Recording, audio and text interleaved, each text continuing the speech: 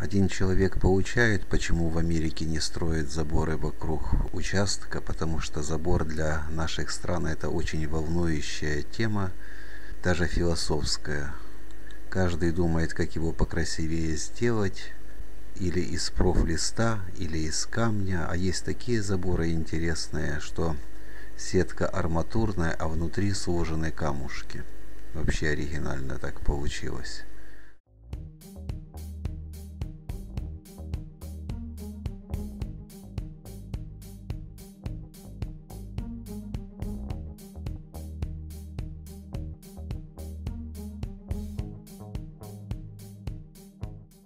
Вот так вот он приводит Америку, что вот у них, смотрите, как в городе. Но это обычно в штатах некоторых есть, в городах местное самоуправление принимает правила благоустройства, чтобы не было заборчиков на определенных улицах.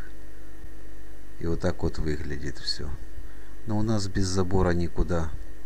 По улицам столько ходит пьяных, наркоманов, плюс у американцев в доме оружие. Что забрел там кто-то на участок неадекват, то он его применит, да и все. Разные у нас правила, разные у нас понятия и привычки.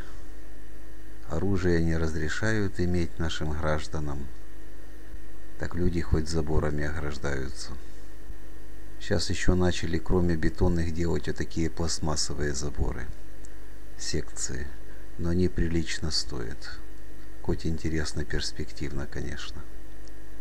А это классический деревянный наш забор. Штахетник вот так вот стоит.